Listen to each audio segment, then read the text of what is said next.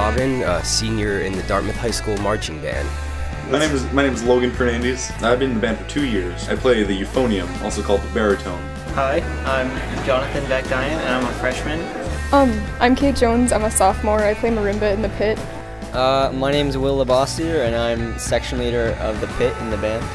The pit is like, it's any kind of percussion that you wouldn't find in the drumline. So it's like concert instruments, like mallet instruments and auxiliary percussion. So it's anything that you can't march. Um, as an alto saxophone player, I can promise you that uh, we're not very loud or heard at all. So we're probably actually the most least important instrument in the band.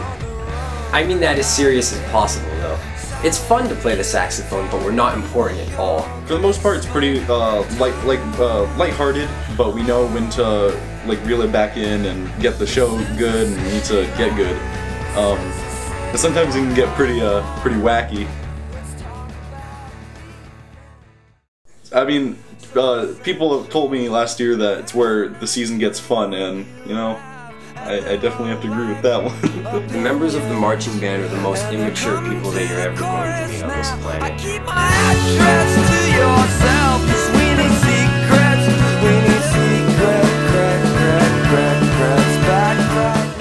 Mondays are safe days. We're off those days every week. Tuesdays and Thursdays, nighttime practices. Wednesdays, right after school. Uh, usually Fridays will be football games if they're home, and there we perform our show, play the little ditties in the stands next door to the real fans. Um, then Saturdays and Sundays we'll either have shows or practices. Uh, the shows, you practice for like three hours or so here, and then you get to eat dinner or lunch or whatever time of the day it is. Uh, you have a meal, uh, and then you get on the bus, and however that long that takes, it takes. Suit up in our uniforms, instruments, and then we just warm up, march, play, and then we perform the show that we've been working on for months and months. Afterwards, there are awards. We find out how well we did, and we go home just to do it all over next week. First competition goes well, then you know that we're doing pretty well, and um, and we can only go stronger from there. Hopefully, it was, it was pretty good. Well, we didn't get at, go as get the highest score as we did last year, but uh, we still were the highest scoring band there, and we did pretty well. But yeah, we're we're always the team to beat or band to beat when it comes down to the national championships. We used to walk around like we had a cool chip on our shoulder, but not anymore. Dartmouth was always a consistent winner, um, but recently, within the past three years, we've been second best, which isn't a bad thing. It's just a bit demoralizing for the people that expect greatness. Um, from my point of view, I don't think we were bad or anything. We're just, you know, it, our time is up. And if we want to keep having that first place trophy on our side, we have to work for it. I can I can see how. Uh, I feel like it, it definitely is a pretty important year because we're there are a lot of new kids and we're sort of like setting the the foundation for like years down the road. Hopefully they'll be like hardworking seniors like like the seniors we have this year um, and years past. So we're sort of setting the foundation for like the work ethic and like the practice etiquette for them. The group's kind of getting younger. We add more eighth graders to the mix every single year. And at the same time, those eighth graders just come in not knowing anything about the marching band. So really, it just falls upon the leaders of the upperclassmen to just exemplify exactly what they came into the band with. So we need to treat the eighth graders the way that we were treated in order to actually get a sense of what marching band should be like. I mean, as an upperclassman, I'd have to say they're like really young and inexperienced, but I'm sure they're like that every year to the oldest kids there. They just have to really think about what they're going for right now. They have to realize what marching band is all about. They have to go back and watch past shows.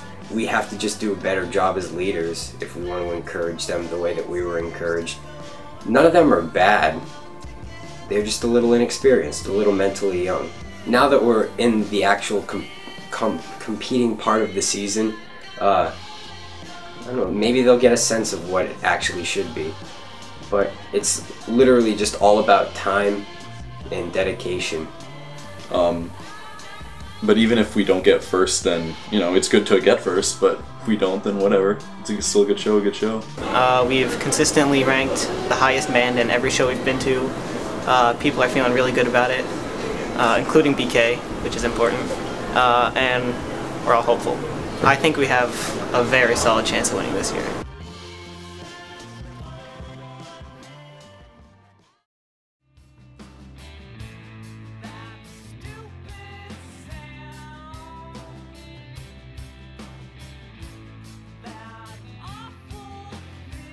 In the beginning it was kind of nerve wracking and no one really expected it but soon enough we reached that kind of point in the season where we were doing better than in the past and we we all just kind of knew that it was coming Yeah, I mean, we lost a couple seniors from the pit. We had a lot of new kids. I think a lot of us weren't expecting a lot going into this season, but by the end of it, we all kind of knew it's gonna happen. Yeah, I think I think the defining point or the turning point would probably be when like we all just came together and performed a really good show before nationals, and we all looked at it and we just knew that we were gonna win. there was one show towards the end of the season which was a regional where we competed against people in divisions bigger than us and after sweeping that we kind of knew that we were gonna win Yeah, it was very emotional time. Everyone was crying at the end when we when we won, and it was. It's kind of like a stress was relieved, and it was stressful to see if we would win or not. But yeah, it was like a weight taken off. I mean, it was very emotionally taxing. I, I cried in the tunnel before we went on, and definitely a lot after we got got off. It, fe- it felt good to finally reach a like a climax to like the months and months that we've been working towards. When we won uh, winning was pretty cool the last time i had done it was my freshman year so it was it's kind of reinvigorating to get that feeling again but with a whole new crowd of people This is my third year, but I've never won anything, so this was pretty. It was good to win. Oh, it was absolutely nice to go out on a high note. I, in the past, like seniors will come in second place and leave on a sort of disappointment, but this was pretty good.